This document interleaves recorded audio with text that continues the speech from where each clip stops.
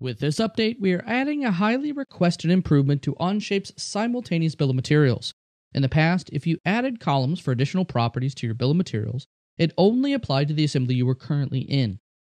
This meant that if you had properties that you wanted in every bill of materials, you had to add each property to every assembly. To solve this, we have added the ability to create a bill of materials template. After you've added all the properties that you want to see in your bill of materials, simply click Save as Template in the ellipsis menu in the top right.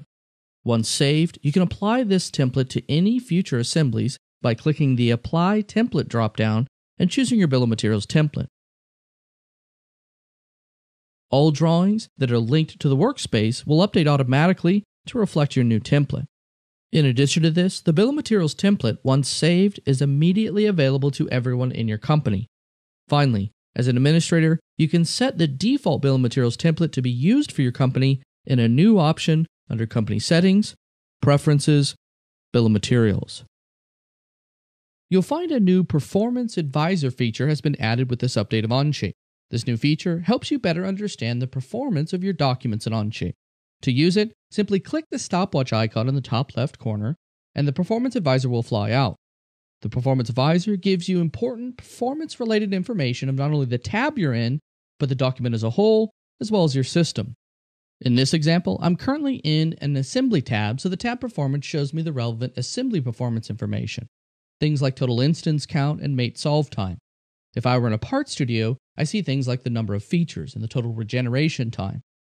In addition to tab performance, you also have tab graphics. This displays information like the total number of triangles, faces, edges, and more that are in the tab. Below tab graphics, you are shown document performance information. This can be useful for understanding how many tabs are in your document. And below document performance, you have system performance.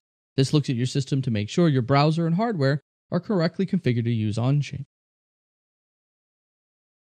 Callouts can now be grouped with notes, bin notes, hole tags, and GD&T symbols.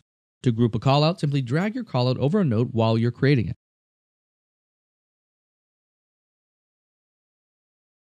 Or, if you've already placed both note and callout, simply select both and right click Group Annotation.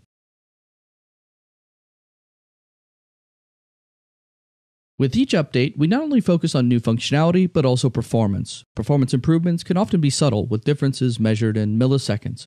But for users, these subtle improvements can make a big difference.